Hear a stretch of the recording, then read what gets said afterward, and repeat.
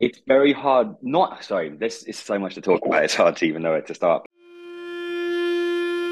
We're currently two months into witnessing the biggest escalation in tensions between Israel and Palestine seen in generations. The rubble the little girl was pulled from has become a familiar scene in Gaza.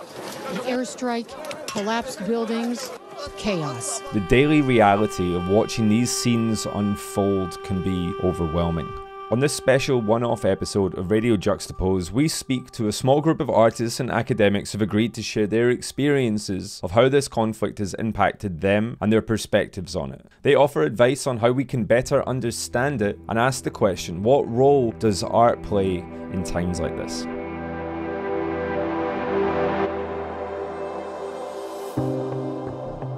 Welcome back to Radio Juxtapoz. My name is Doug Gillen, and today we call on three different speakers with different perspectives and experiences to deep dive into one of the most sensitive conflicts in the modern world as we try to unpick the tangled web that surrounds Israel and Palestine. After two months of war, a death toll that currently sits in the tens of thousands, the scale of destruction for an area relatively seasoned in conflict is currently unprecedented. Every single one of us listening to this episode will be coming in with pre established beliefs and understandings of protagonists and antagonists, victims and perpetrators, right and wrong. And we have absolutely no sense of delusion in being able to fix whatever is going on out there. But we did want to offer a space for those within this little part of the art world to be heard.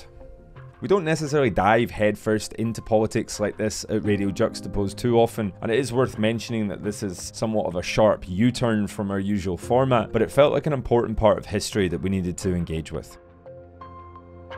Today we're going to hear from Israeli American artist Adam Yekutieli, also known as Know Hope, London based author and lecturer Rafael Schacter, and Palestinian American artist Saj Issa. We have tried tirelessly to find a Palestinian voice on the ground in the region, but after almost a month of near misses and almost, it just proved too hard to find someone willing to speak. Some because of the inclusion of Israelis on the podcast, and others purely just for fears of their own safety. More than anything, this episode is an attempt to bring together people with varying degrees of connection to this and try to create a rounded insight into this situation. What will already be familiar for many of us is the incredible sensitivity in the language that we use that surrounds this topic. I'd say more so than any other region of conflict in the world. Every effort has been made to approach this episode with the care and sensitivity that feels essential, and every effort has been made to ensure that any information beyond personal experience has been fact checked and verified to the absolute best of our ability. I'd like to start by simply asking Israel based artist Adam Yekutieli to describe the moments watching Hamas attacks unfold on the 7th of October. It goes without saying that this episode does contain some graphic depictions of war and some pretty heavy, sensitive material, so please take that into consideration before listening.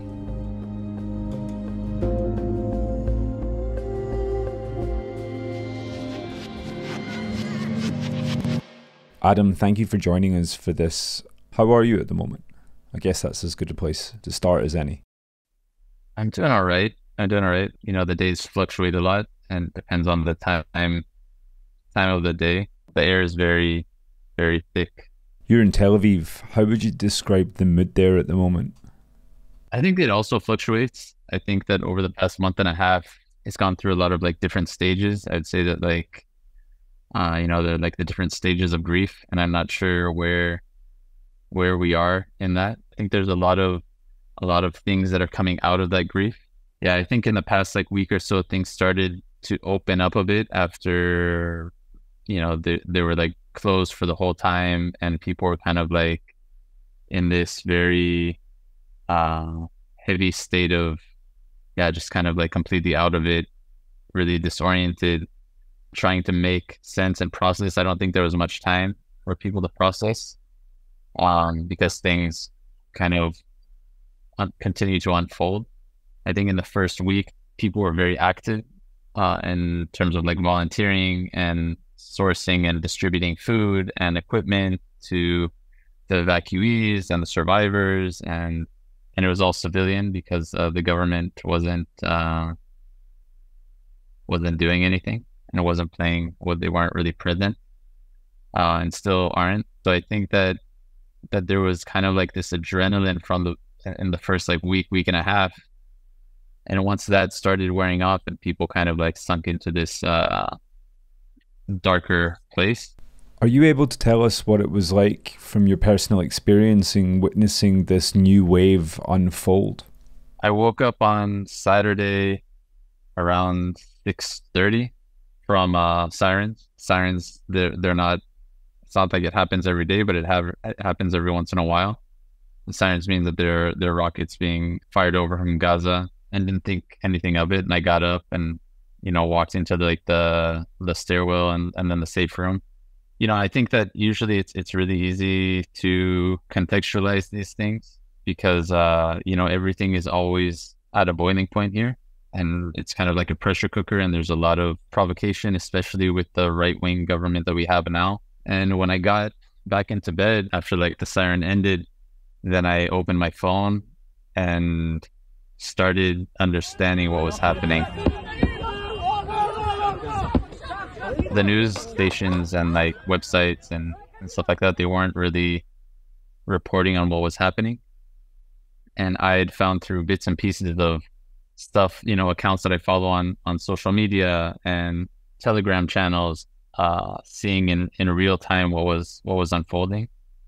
And I think there were there were many people that were discovering any, you know, gathering bits of information through those means, and just witnessing the most horrific, brutal uh, footage. And it was hard to it was hard to imagine that it was that that's what was happening because I think that in this kind of like power dynamic that we're in, then Israel is never really at a, a truly vulnerable state. And that's why when I started seeing the videos, I'm like, this can't, like, I, I couldn't fathom it. More harrowing stories of how people were killed in the Hamas attacks are still emerging. One teenager who had just celebrated her 18th birthday died after being shot while sheltering in the safe room of her home in Nahal Oz, which is close to the Gaza border. Her father was taken hostage. The more that I saw, uh, and the more that started to like kind of be discovered through like personal like WhatsApp messages and text messages, I think we all realized how how real it was and how how big of a scale it was it was really really hard to grasp that that's what was actually happening. And i think that the the, the mainstream news stations weren't reporting on it because they were didn't want to get everyone in a panic and i think there was this you know this kind of like which i think was it was it was a very very strange place to be in i think it's still unfolding like understanding the victims you know bodies are still being identified people that were thought to have been missing are now discovered that they were that they were uh, killed it was a really big shock. And I think that there was no time to really process it because everything was moving so fast. Once I understood what was actually happening, then I knew that the retaliation is going to be like something that we haven't witnessed before.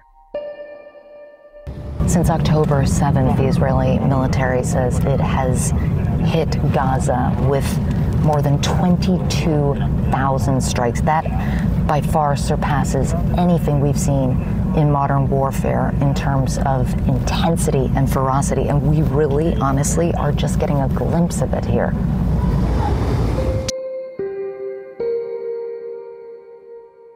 How would you describe where your political ideology might lie? I do like recognize the fact that it's all been very like confusing because it's all very layered and it touches on all these different layers and aspects, I guess, of my identity, as someone that sees themselves uh, on the the left hand side of the political map, as someone that recognizes and speaks out against the occupation, but also as a Jewish person. You know, these things do kind of, you know, they do touch on all this generational trauma. I think that's kind of like an unexpected reaction that uh, that I didn't think of uh, initially, but as time goes on, then I do realize that it does it does have a have a place. Again, I don't know where to place it in, in kind of like the the stages of grief, but I think that's you know why why people are reacting as if it's you know feel that it's a a, a war for survival. It's kind of something that needs to they feel that the need for like revenge and to seek uh like retribution. I, I really don't agree with that. I think that that revenge will not get us anywhere. What's happening in Gaza is is not going to achieve the answer that many people are looking for. And of course, the the cost of, of human life and the dehumanization and the kind of abstraction of what is seen as kind of like collateral damage is it's for me it's really hard to grasp. And I think that, you know, the rhetoric has become so violent. And I know that it comes from a, a, a deep, deep place of pain and of uh, you know, people are mourning and people uh, think and act and say things when they're uh, grieving. But uh, but I think that it's it's kind of created this veil almost about what's what's happening in Gaza.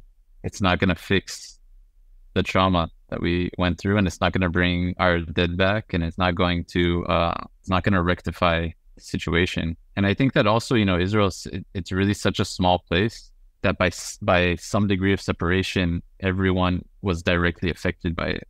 You know, like I have so many friends that have family members that are missing, that are kidnapped, uh, that were murdered, like entire families that have been really destroyed. And every it's so small that every you can't really separate. It's not like an abstract thing that happened. Uh, you know, even though Tel Aviv was kind of like really feels like encompassing, that it's kind of like uh, kind of like closing in but I know that it's not the answer. You know, you asked about like society and the larger kind of climate. There's not a lot of space for any empathy with with the people in Gaza. There's not a lot of space for holding multiple pains and multiple truths at once. I think it's a it's a very complex place to be in, and it's a very in a way it's a very like lonely space or demographic to be in do you feel that your voice or your position here is that reflective of the larger mood of Israel? Um, I don't think so. I don't think so. I think I think that the, the the people that that oppose this, you know, the the bombing of Gaza and oppose the war and are calling for ceasefire, I think that they're the way that I feel it is is that it's it's a very big minority. In reality, it probably is is still a minority, even though you know I'm I'm aware that I'm in some sort of like uh, we're we're all in echo chambers in the end of the day. But I think that uh, in terms of kind of like mainstream Israeli society, many people uh, there's there's kind of like uh, there are different degrees I think of people's positions. Israel for the past year has had its most extreme right wing, uh, fundamentalist, uh, settler based, uh, and driven uh, government for the past like 10 months or so since it kind of since the government started acting or had been put in position and there have been mass demonstrations against this uh, judicial rehaul that is basically an attempt at, and that is successful so far in dismantling the the judicial uh, system and justice system, essentially making it like anti-democratic. Of course, like before, you know, there and, and within those like mass mass protests, there have been a group of uh, like a very small group that are have been saying that it hasn't been a, a democracy before. Uh, as long as there's occupation, there can't be uh, the democracy never truly existed. I think also from like my position, like Israeli society, they they aren't they're living in like an entirely different reality. They're not aware. Like the media here is still focused on either October seventh or uh, like the the released hostages or like all the Israeli soldiers that are dying. People here have no grasp of what's happening in Gaza, and it's like you know, which as, as is, Gaza is kind of like an out of sight, out of mind situation generally. Um, and now there's such a big disconnect. Hundreds of Palestinians protested the closing of a space in front of the Damascus Gate, while Jewish extremists marched elsewhere, shouting death to Arabs. What was it like watching the world react after your country was going through the biggest hit of trauma that it's experienced in, you know, our generation's lifetime? I think that I will I was and still am kind of frustrated by the lack of uh, nuance. I think that people are used to, especially online, they're used to speaking about things in like very binary terms. I think that people are used to seeing a specific dynamic uh, between the Israeli state and Gaza. And I think for the first time ever, that power dynamic, at least in the first 24 hours, was changed forever. And there was this kind of like uh, illusion that was shattered. But the response was so swift and so brutal. I think that it overshadowed uh, what people well, here experience on the 7th of October. Uh, and it's kind of snowballing. It's bringing all these other, all these other issues into it. And I think that we're in a state of emergency and we need to figure out how we stop everything. I feel that both both sides feel that their tragedy is being overlooked.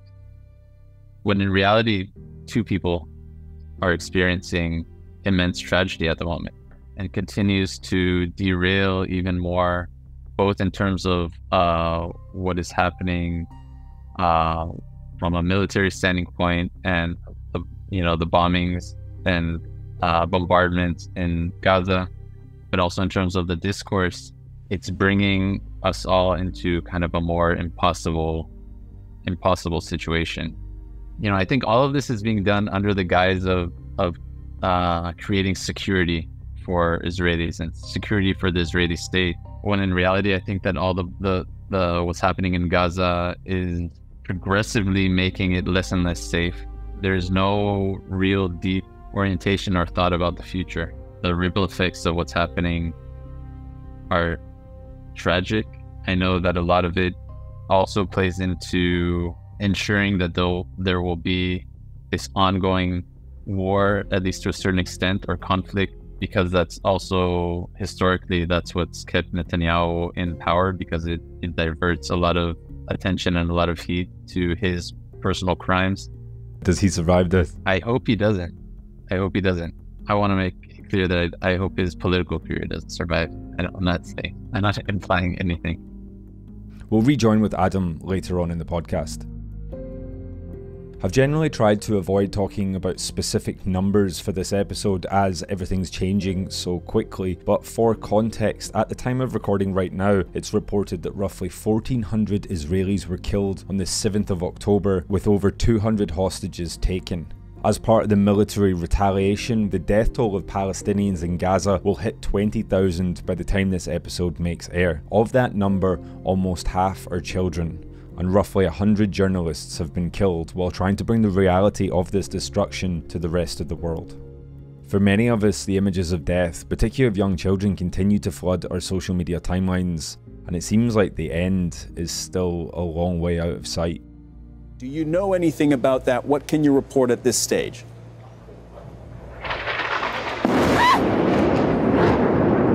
All right. Yumna, please take cover. If you are in a position to do so safely, you can explain to us what we're happening. If you are not in a position to do so safely, yes. then please get to safety. No, it's okay. Um, this is a missile attack on on Palestine Tower right in the middle of Gaza City. In response to the bombardment of Gaza, the UN Security Council held an emergency meeting which put forward a resolution for a ceasefire. Among the 15 members, the US was the sole veto. 13 members moved in favour of a ceasefire while the UK abstained. Following on from that, the UN opened up a special session of the General Assembly in which all member states were eligible to vote. In total, 153 countries voted for a ceasefire. Only 10 nations, including the US, voted against, while 23 countries, including both the UK and Germany, abstained. For many of us, the images of death, particularly of young children, continue to flood our social media timelines, and it seems like the end is still a long way out of sight. At this point, I wanted to ask American Palestinian artist Saj Issa about the changes that she's experienced visiting Palestine over her lifetime and what it was like as an artist speaking out on the subject. How are you today? I'm doing okay.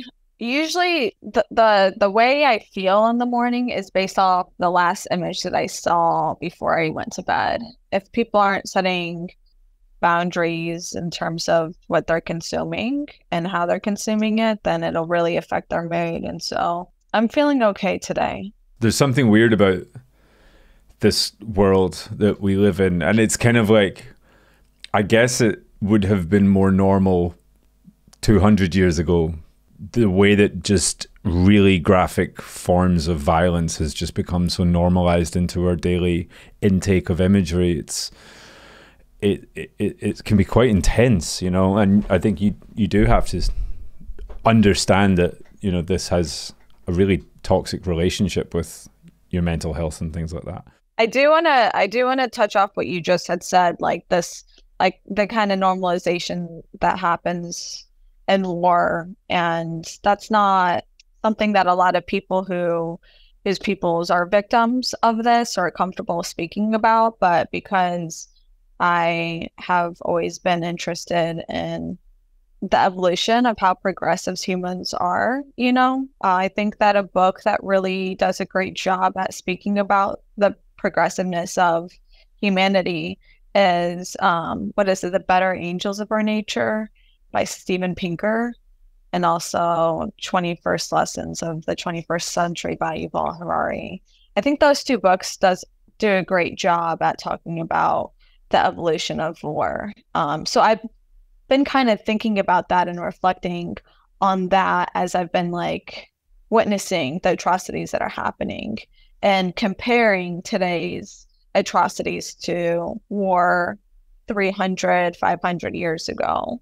While there are less, significantly less people dying today, I don't think that's quite a good measure to judge whether or not we're, you know, becoming more human so my name is Saji. I'm a Palestinian American artist living in America right now. Both my parents were born in Palestine. Uh, my grandparents were born in Palestine. Their grandparents, and so were their grandparents. And um, I'm first generation American. How have you seen that situation change in your lifetime? I recall seeing like the beginning of the establishment of the apartheid wall and also like checkpoints when these structures became opted for a more permanent structure like a cement wall or cement grounds in the checkpoint uh, area. Just like having these like permanent structures that's when it became more real because if you know you're walking through a checkpoint which is or an a place where Palestinians who want to leave towards, you know, occupied Palestinian territories slash Israel territories have to physically go through a gated system to like have their passports or show identification to be allowed entry. The evolution of the occupation through those structures. How does your experience differ from as an American Palestinian to Palestinian Palestinian. Like I said, I'm an American citizen, so I have the luxury of, you know, traveling in both territories. And that being said, I have an understanding of what a society, a coexistent society, and a very diverse society can look like, having experienced, you know, witnessing that in America. I'm allowed to, again, travel in both territories, but someone like my, you know, grandfather or late grandparents who um, were born before the state of Israel cannot travel freely outside of the West Bank territories. You know, even like my cousins and family members there that are Palestinian citizens, you know, it just feels so beyond privileged, you know, to, I don't even want to say the word privilege. It just makes me feel really guilty to be able to like drop in when I want to. And it's like, oh, I'm going to go see these historic, you know, biblical religious sites and that's a luxury to have that freedom to do so over, you know, my family members that permanently live there. I want to start with October the 7th when those attacks started happening. Do you remember finding out about what was happening there? And do you remember what you were feeling at that time? I had my girlfriends over. We were hanging out that night. We stayed up late and we just like were scrolling through Instagram. And so it's like you know, past midnight in American time zone and then early morning in that region's time zone. And we're like, oh my God, what what what is this? And so we're freaking out. And so I was just so tired. I was like, I think that this is one of those other things that's just gonna kind of like blow over. But by the time I woke up, it got significantly more intense. And so I was just like, wow, this is this is the start of a war. Did you at any point feel scared? Yeah, definitely. I think that people immediately fled to taking a stance on social media, and that kind of became a little uncomfortable to continuously seeing over and over and over again without these people having context of anything that has been going on for the past 75 years. My feelings were a reflection of, you know, just what other people were thinking. It definitely felt like a post 9 11, a post 9 11 moment in America, not just over there, you know, especially in America. You know, in the first week of the conflict, many ignorant people fled to taking a stance on social media. And so, like I said, they completely disregarded everything that was happening um, in terms of the occupation, apartheid, and ethnic cleansing of Palestinian people. So, uh, a lot of their response felt like selective outrage, and that feels really hurtful. You talk about this being reflective or reminiscent of your experience post 9-11 what was that like for you as a young muslim girl i actually don't know if you're muslim yeah yeah that. muslim identifying young girl in the midwest at this point. Tell me a little bit about that. Yeah definitely. I mean as a stranger walking around in public no one can really identify me as being arab or muslim. You know i don't wear the hijab.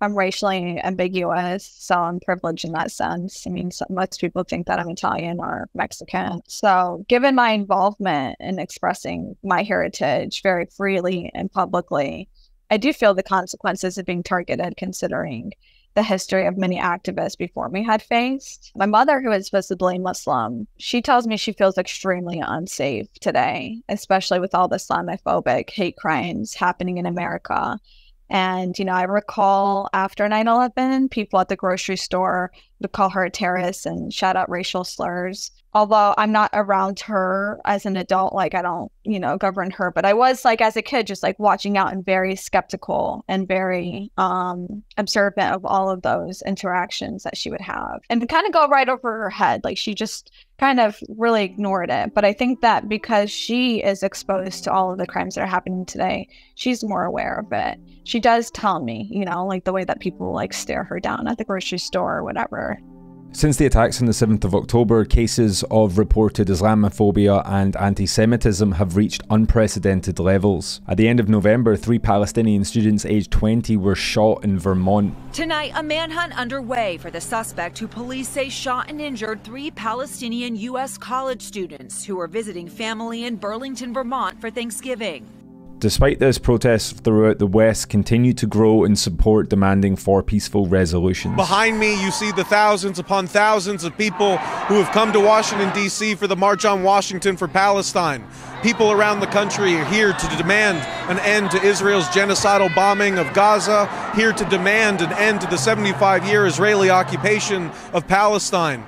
I feel like the difference between the UK and the US is it's usually really subtle, but in this regard, it feels really strong. And I feel like this is the first time that I've ever seen there be such a vocal movement towards the Palestinian cause. Yeah, definitely. No, I definitely agree with you. Like, of all moments in history, this has been the most like support and uh, just so much bravery that I've seen from so many people being very you know, taking a stance. And I think that a lot of that had to do with one, civil rights movements, you know, gave a lot of context to marginalization and lack of freedom for certain people in America, but also the BLM movement in 2020, which did a lot of kind of like which laid down a lot of groundwork for education of what happens to people of color communities and the negligence and oppressive systems that are in place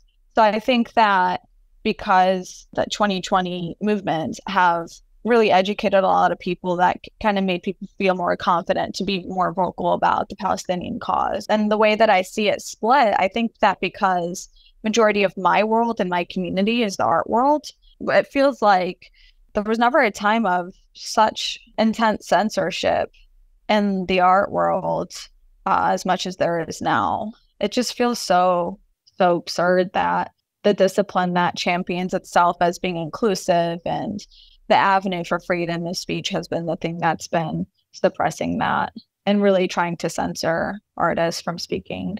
What has your experience as an artist vocalizing your position? What has that been like for you? Actually, let me go back as an artist vocalizing your position on this matter. Has it changed from pre October the 7th to just now? Yeah, definitely. Oh, definitely has changed. So for a while now, I've I felt like I had to be really quiet of how much of my identity I could share, um, especially in art spaces. Ironically, um, I'd faced many backlashes and criticism in the in the past and lost relationships with galleries because they didn't want me to reveal or share too much about my stories.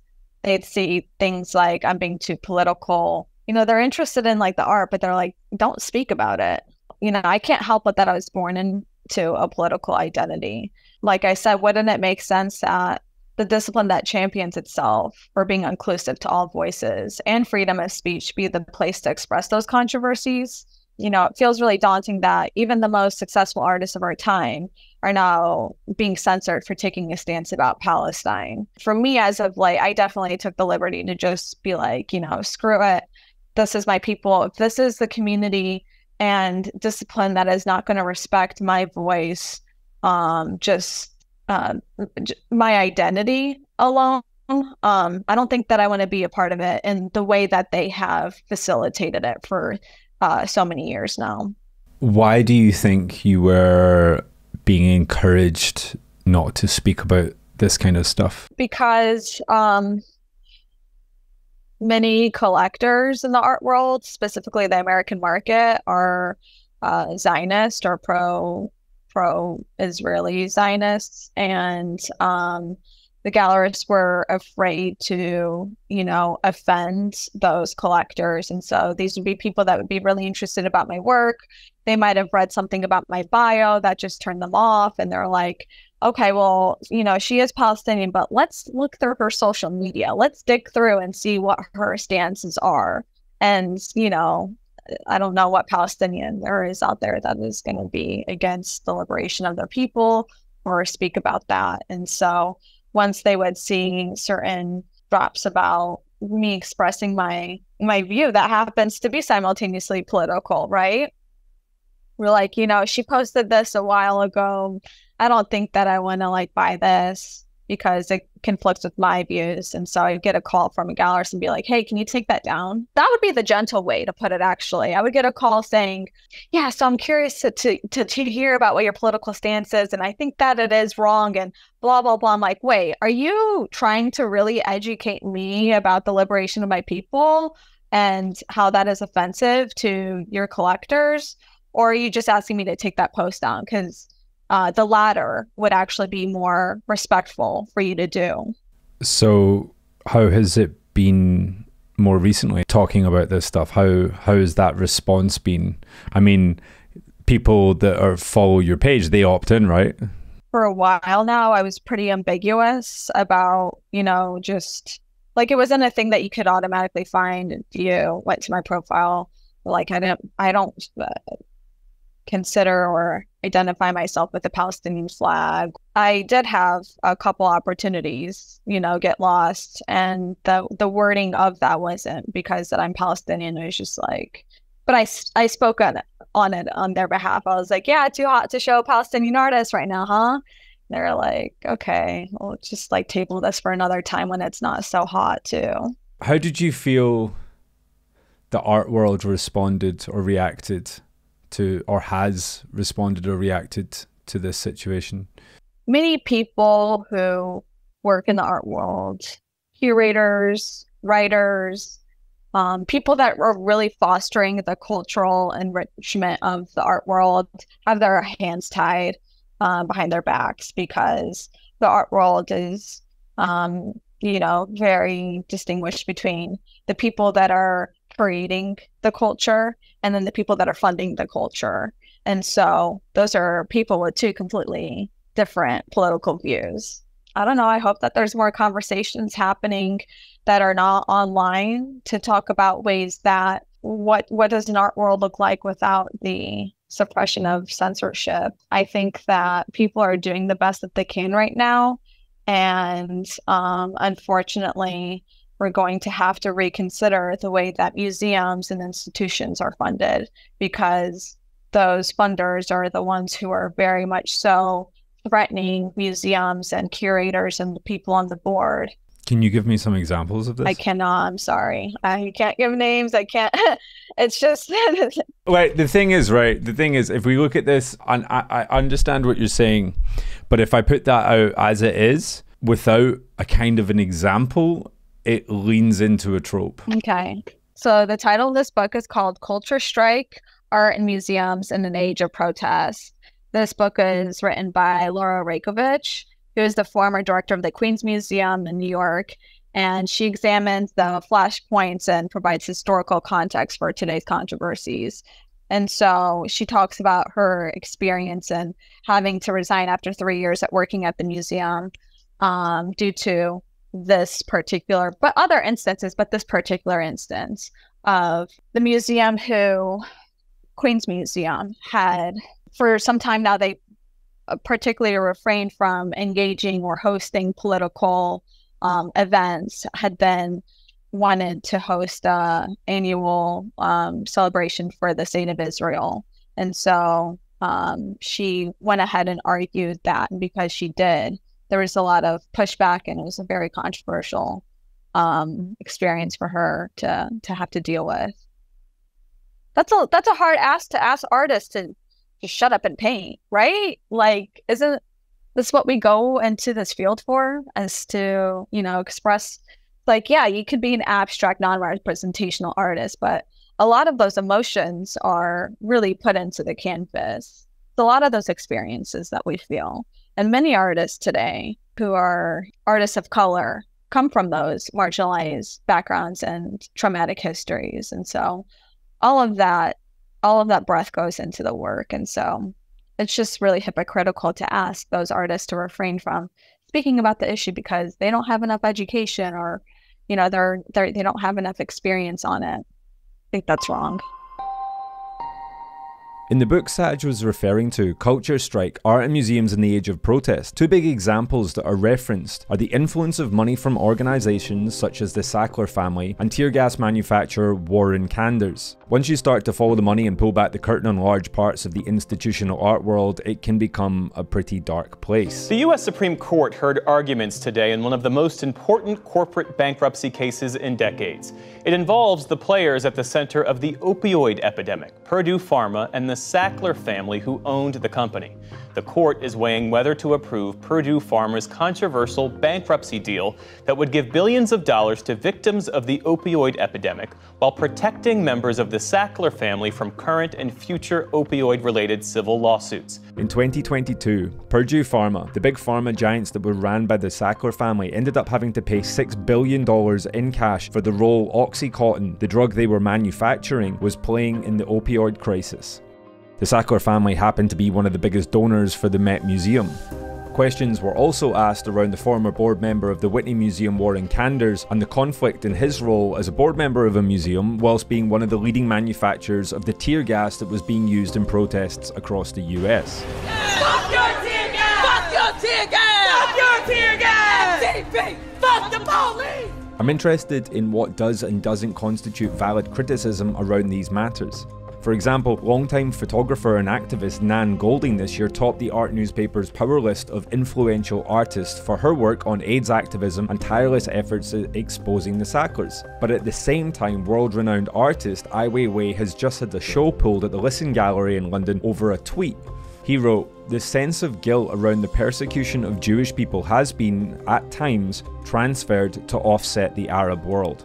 Financially, culturally, and in terms of media influence, the Jewish community has had a significant presence in the US. The annual $3 billion aid package to Israel has for decades been touted as one of the most valuable investments the US has ever made. This partnership is often described as one of shared destiny. To help me understand this boundary a little bit better, I wanted to speak with London based author and lecturer Rafael Schacter.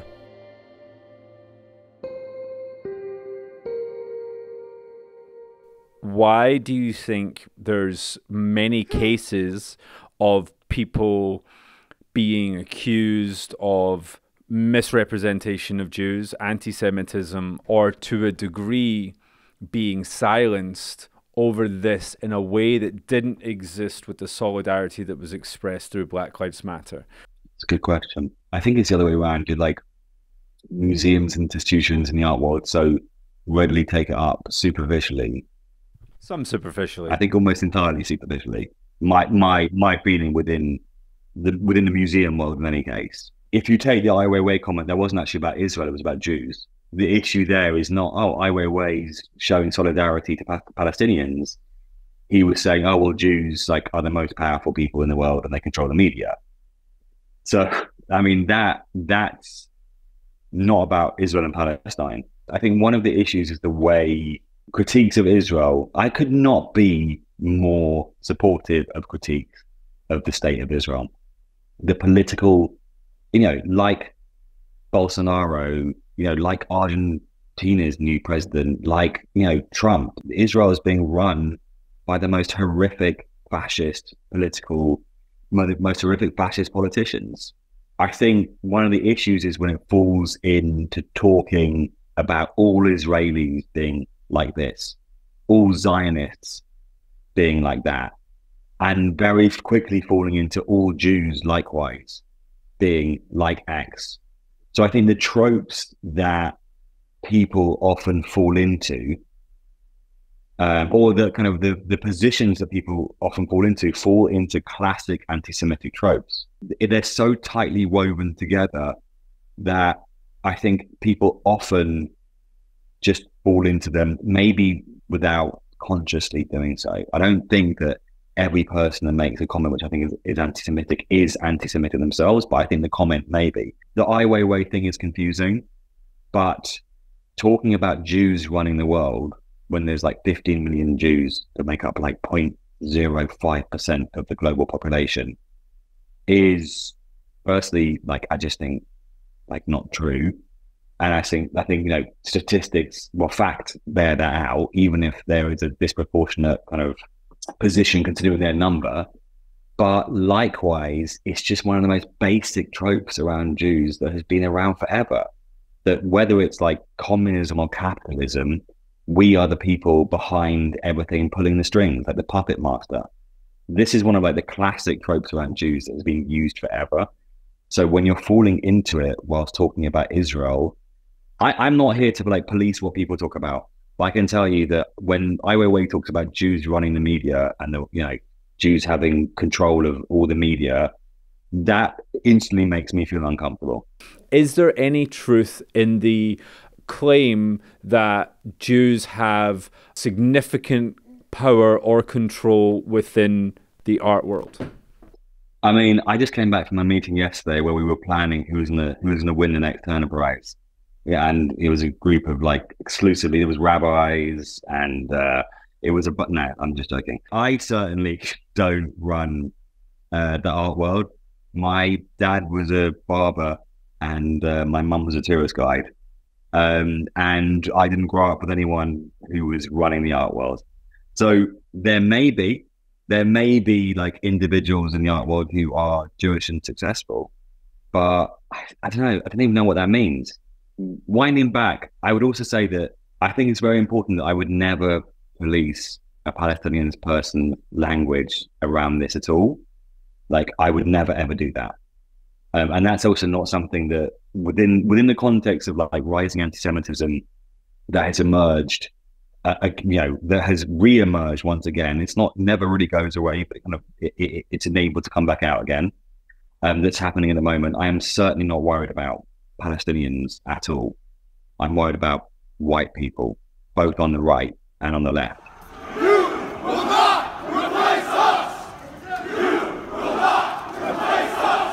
I think trying to say that you know, oh, no one can talk about the fact that you know, Sackler, the Sacklers uh, are Jewish. Trying to do, you know, to stop people talking about that, of course, would be would be wrong. But starting to kind of allude to all kind of shadowy tropes of people that like are like the puppet masters behind whatever world, it's just like we've just read this before and we've seen where it ends up. And and the thing is, I I feel really really strongly about this. Like I I have students who feel silenced by the current situation. You know, I am very conscious of like how, you know, there is this, this you know, this this is a real feeling that people have. I personally don't think it's that difficult. I mean, maybe because my radar for anti-Semitism is so strong, and it really is. You know, my ears are like really ready to hear any little subtle, nuanced, racist remark so maybe because of that, I, I don't think it's a problem talking about this. I think the whole like, oh, you know, anti-Zionism isn't anti-Semitism. It's not complicated. That argument is not complicated. Of course, I, I prefer like anti-Israel rather than anti-Zionism because I think what people are talking about when they talk about Zionism are, are many different things. But being against the actions of the state of Israel, the idea that would make you anti-Semitic is crazy. Uh, there are often occasions where it's instrumentalized to be in that way. So people will just accuse people of anti-Semitism when there is no anti-Semitism there. That does happen. I want people to be able to to speak their minds, but doing that, you just have to be super careful about just not dehumanizing people, whether it's Palestinians or whether it's Jews. We've used this. You've used this word a lot, and I think it would be really good to have a clear definition of what it is that you mean when you use it. What is Zionism? Okay, so uh, this is a question that I talk about a lot. There are many different perspectives on on what it means. For me, Zionism means something like very simple, which just it just means self determination for Jewish people. That's all it means. Zionism doesn't mean that you support the actions of the state of Israel that you don't. It doesn't mean that you believe that you know nothing the state of that anything the state of Israel do is fine. It just means that you believe that Jewish people should should have self determination. When people use Zionist as like, you know, a pejorative, oh, he's just a Zionist. You know, they're just Zionists. I understand them what, what they're mostly saying when they're calling someone a Zionist. They're saying someone who supports the actions of the state of Israel as a political entity and that is totally fine with subjugating and murdering Palestinian babies. I'm deeply uncomfortable about that because uh, one, because I just think it's you know ridiculous. Two, because you know 85% of the global Jewish community are Zionists, and that certainly doesn't mean that they support what Israel is doing. Like, of course they don't. Like my my parents are both classic Zionists right? You know, they don't live in Israel. They're both from London. They both grew up here, but they both believe, you know, in the, the fact that Jewish people should have, you know, self determination. And why do they believe that? Because whenever they haven't had self determination, they've been murdered. Right? That's just a fact. Right? Does that mean that they support it at all costs in terms of, you know, the annihilation of Palestinians and the ongoing situation? Of course it doesn't. Of course it doesn't. So that's why I find it very difficult when people just use it in this like pejorative sense without like really understanding what people mean by it.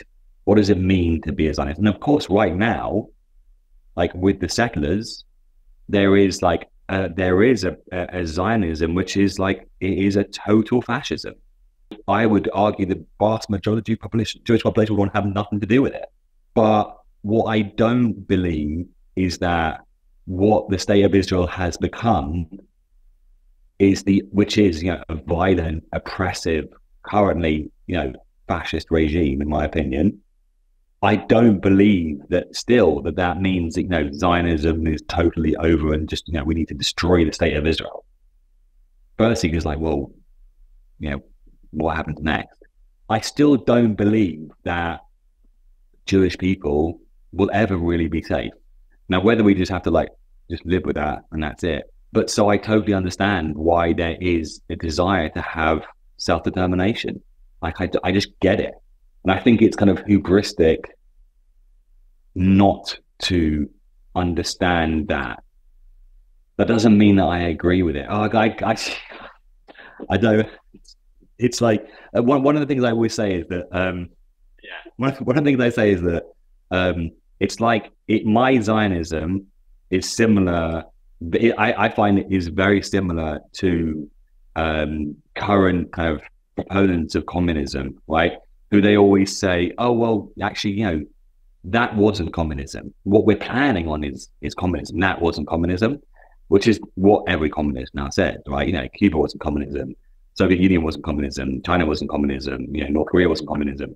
The real communism is coming, and I feel like my Zionism kind of often falls into that space because obviously, if you see what's happened to, since '48, you know, the Zionist project, you know, hasn't really got to a great place. But at its essence, that idea of self determination,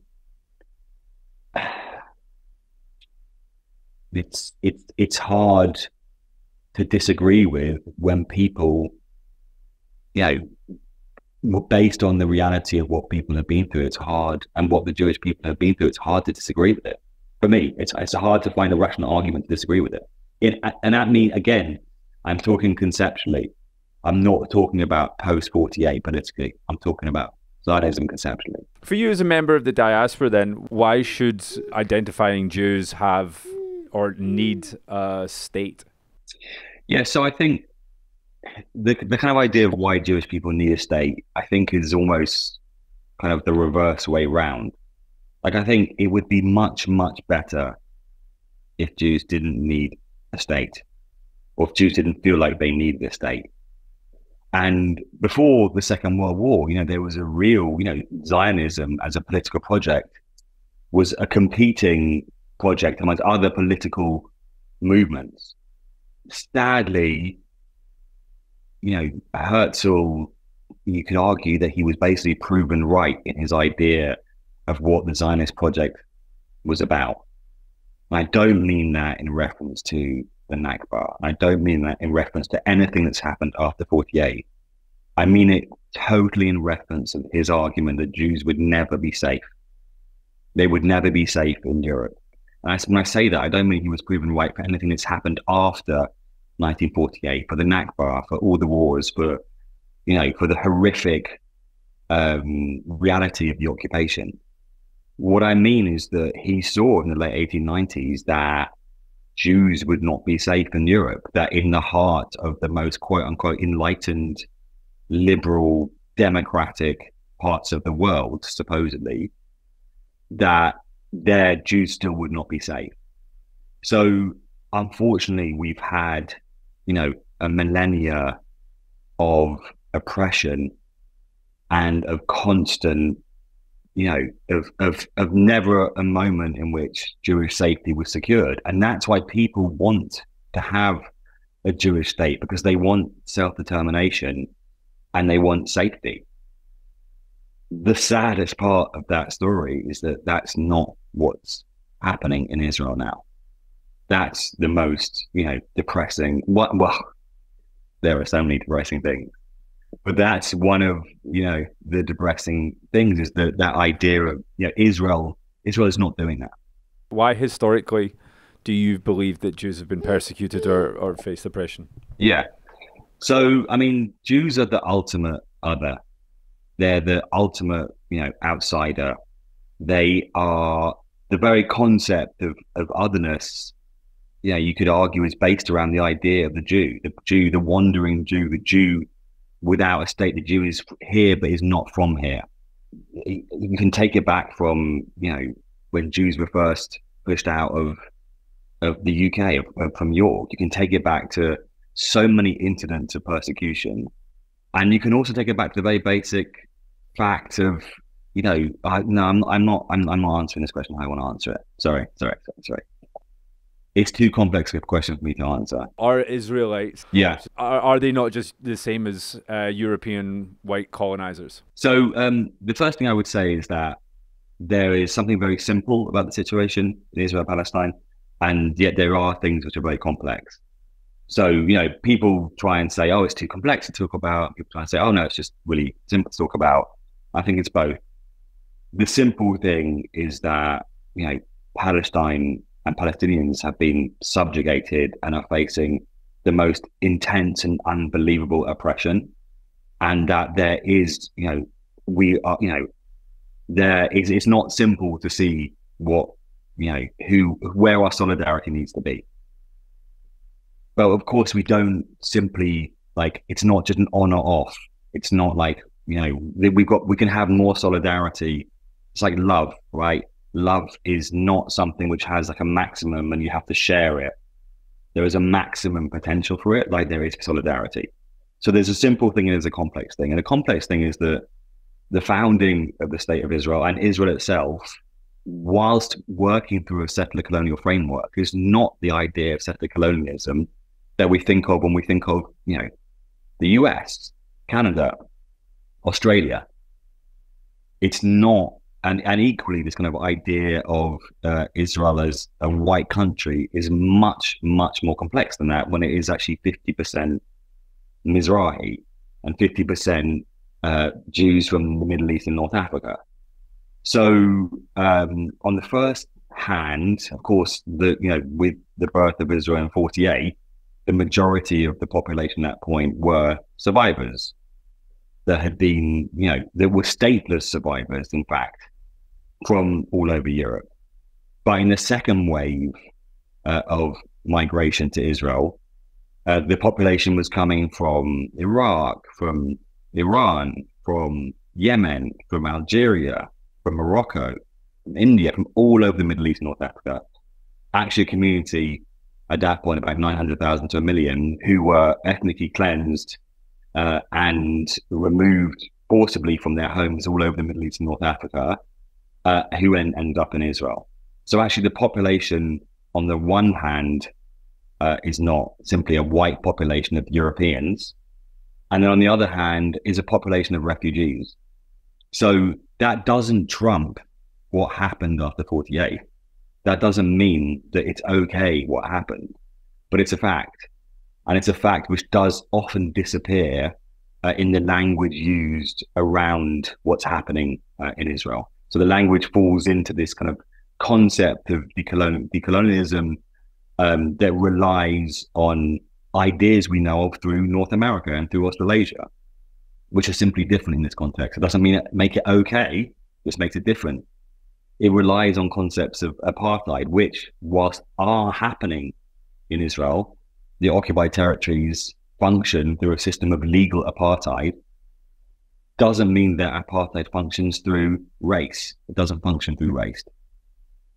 So the, the, the complex things is is trying to frame these issues without simply falling into kind of falsehoods which deny kind of the fact of Jews of color, that the, deny the fact of Jews, the majority of Jews in Israel not being white. That doesn't make anything okay. It's just a fact. What does modern anti Semitism look like to you? And how big of a re- threat is it? Okay, so um, oh god, this is tough. This is this has been a tough interview. I've got to say, this has been tough. It's exhausting as a Jew to have to explain to people that anti-Semitism exists. In the same way, it is just exhausting for people of color to have to explain that racism exists. It's it's beholden on people if they care to do their own research about it rather than to you know take the person subject to the racism and force them to explain to you and force them to kind of enact that labor to do so in a general sense right likewise you know anti-semitism is you know is really back in the game not that it ever went away but anti-semitism is like you know rife murders and you know mass murders in the us to terrorist attacks and murders in France to just the level of anti-Semitic crime in the UK.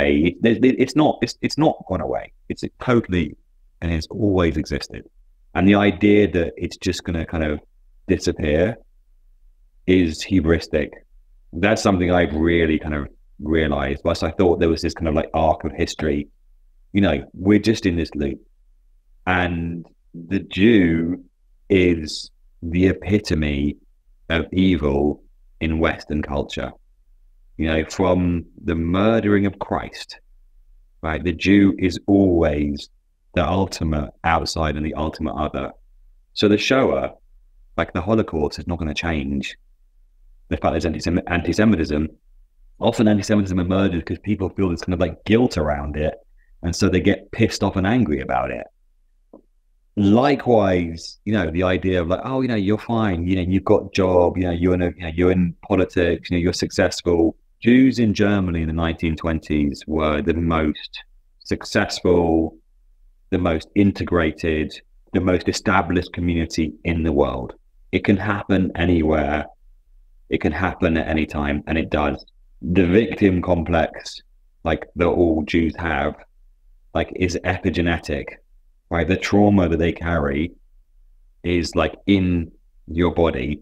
Yeah, the reason like that many of us have survived is because one of our, you know, great grandparents were like, vibes off, let's get on a boat. That is the only reason why I'm here today. What role do you think art plays in times like this? I think that art is a kind of space and a medium that allows to ask questions, questions that have no answers. It's a place for processing. It's a place that can hold complexity. It's a place that can foster empathy, which I think is kind of uh, lacking at the foundation of all the discourse, uh, especially when things are so heated and so emotional.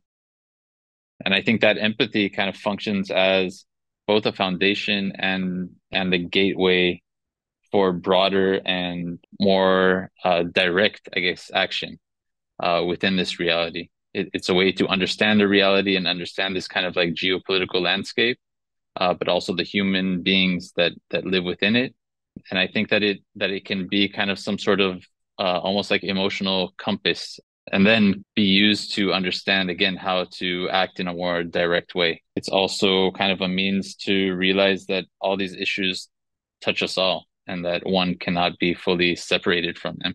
For me, that was a big realization while dealing with certain subject matter, uh, like you know walls and borders and fences and stuff like that, but more on this metaphorical level uh, while kind of thinking about the the local reality here, it took me a while to understand that that I am part of this reality, uh, not in a metaphorical sense, but in a very uh, real and actual sense. And I think that kind of created a shift and helped me understand the responsibility that I have also as the Israeli in this uh, power dynamic, this local power dynamic between uh, the occupier and the occupied. Yeah, and I think that it it helped me understand my responsibility connecting these two realms, which are like the creative and the emotional, and the like more activist related or kind of solidarity based.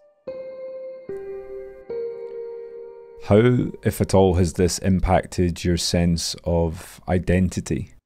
I don't I don't know if it's changed anything in terms of kind of like you know my ideological uh, foundation or or the way that I view kind of like the moral predicament of this reality.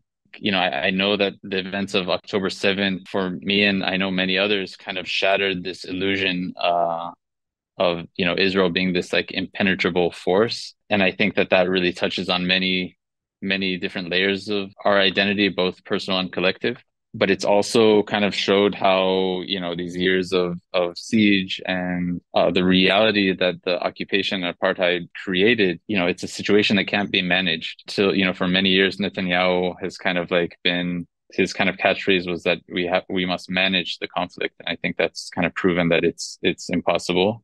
And now that we're in the midst of this like very grave humanitarian crisis the wounds are getting deeper and deeper and we're reaching a place that it'll be harder and harder to come back from. The trauma is deeper. It's kind of like ab- being absorbed in the land. I always think of it as like, you know, that all these things get absorbed in the soil and it's kind of always a question: what what can ever grow from this soil? Can there ever be anything that isn't like poisoned? Can it be like a prosperous growth from the soil?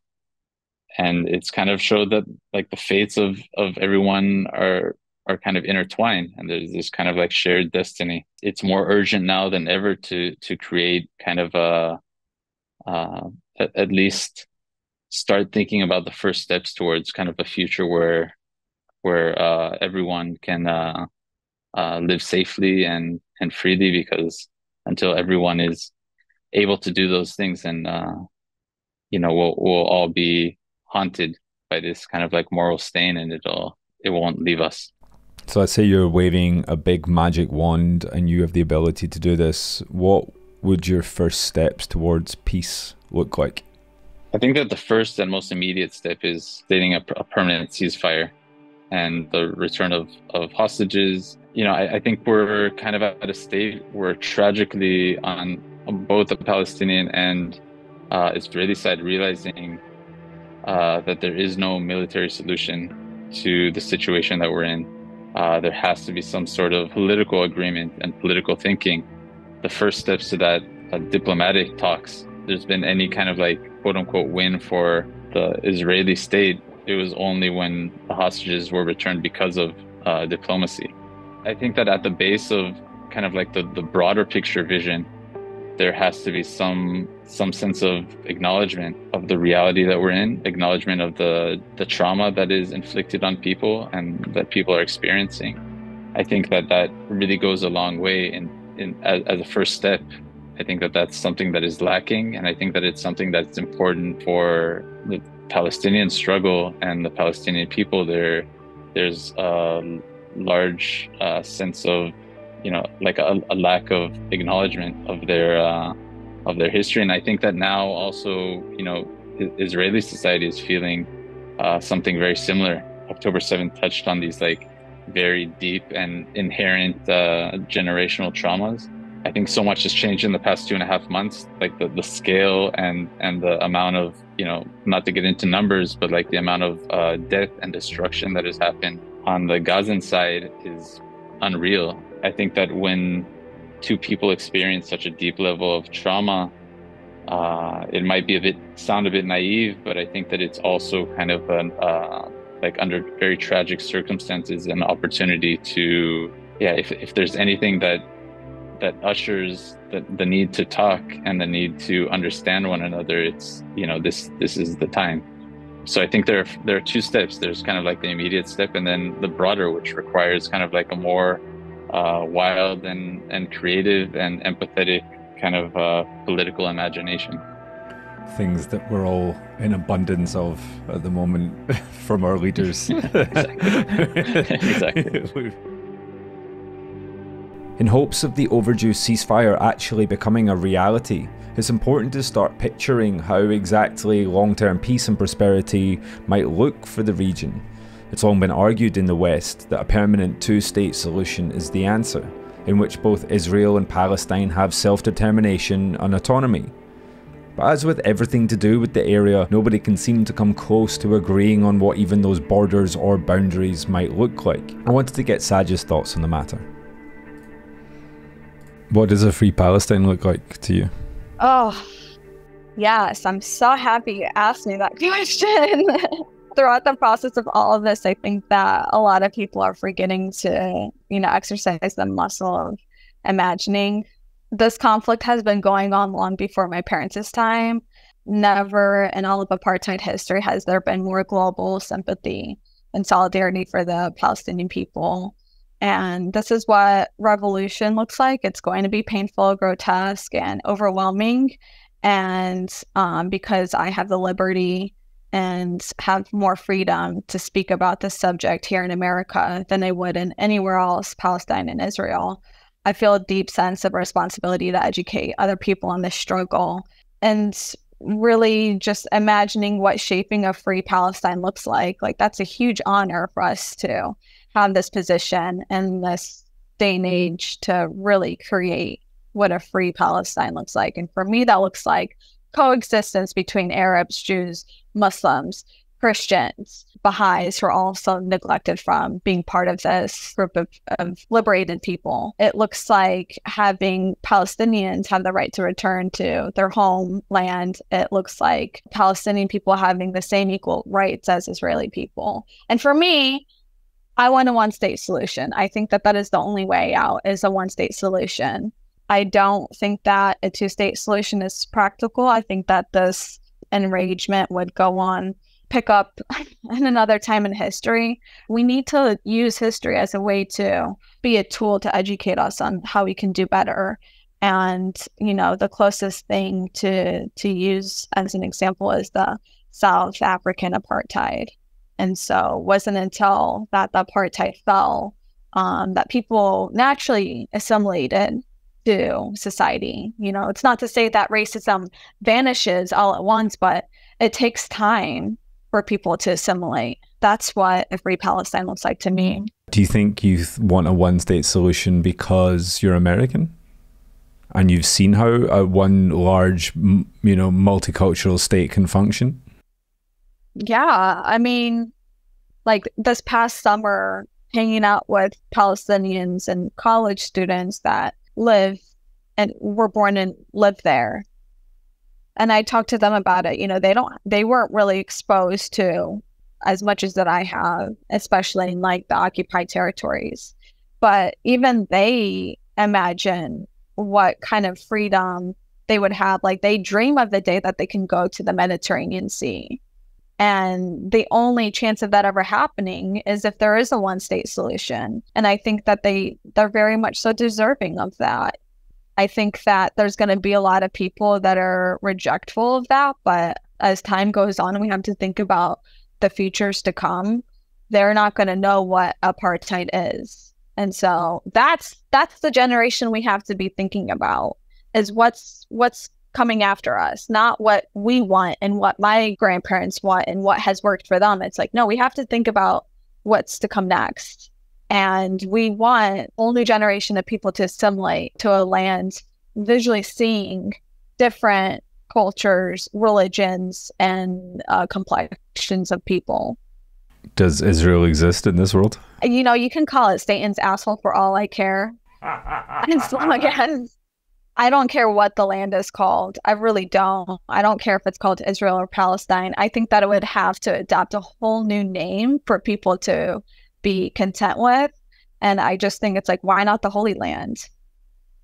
Like, I know that's that's completely opposite of Satan's asshole, but I mean, even calling it the Holy Land uh, with no governing religious state, with no ruling religious system, is very important. That is very uh, like number one, particular to what a free uh, Holy Land looks like is that there it's a democracy.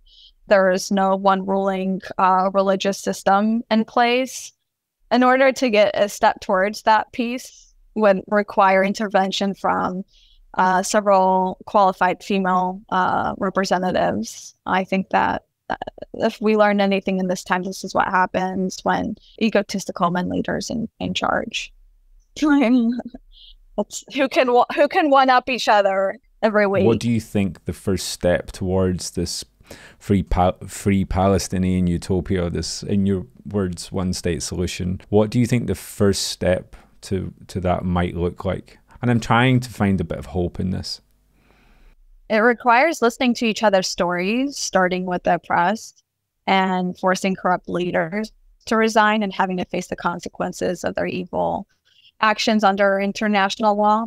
It would also require qualified individuals to intervene who are specifically not men and create a complete new system that is fair, as fair as possible. And governing systems have to take accountability for their unfathomable damages that they've caused and pay reparations. And so I think all of that simultaneously is the first step towards peace. What do you have to lose by giving something else a try?